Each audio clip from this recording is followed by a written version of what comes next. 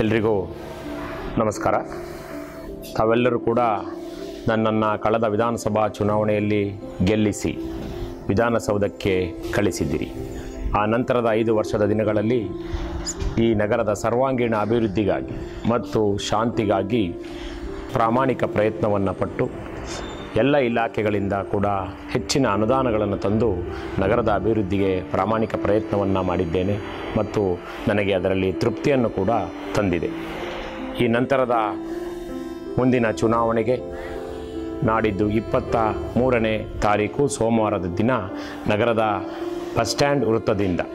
ನಾವು ನೀವೆಲ್ಲರೂ ಕೂಡ ಒಟ್ಟಾಗಿ ಹೋಗಿ ನಗರ ಮಹಾನಗರ ಪಾಲಿಕೆಯ ಕಚೇರಿಗೆ ನಮ್ಮ ಮುಂದಿನ ಚುನಾವಣೆಗೆ ನಾಮಪತ್ರವನ್ನು ಸಲ್ಲಿಸೋಣ.